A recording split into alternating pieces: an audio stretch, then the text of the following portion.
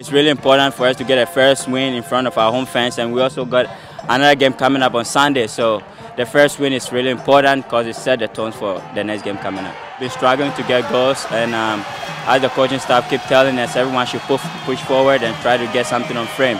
And it, it showed tonight, and I really, I really, you know, enjoyed uh, having Schmetz and Glodack and myself uh, having a goal tonight. So it's really good for the team. It's a league opener, conference opener, so it was a home game. So it's something. It's a game that you just have to win. Lately, we got some, we got stupid goals, you know, and lost games tied 1-0, 2-1. So it was very important for us tonight to keep the clean sheet and keep the zero in the back.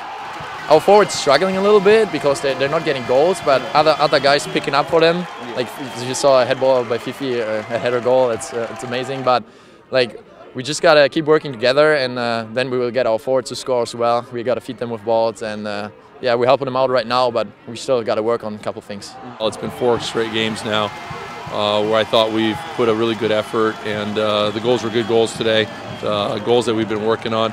So that was our best output since uh, Northwestern. So we're, we're excited about the win tonight. We are able to put 13 shots in the first half, get the two goals, jump in the lead, and uh, now we just have to do it again on Sunday. It's just a momentum builder for us. I mean, it's just one game. There's nine more to go, um, and it's only going to get uh, tougher. Uh, and uh, but I think again, this is the kind of team that uh, has been playing better for the past two weeks.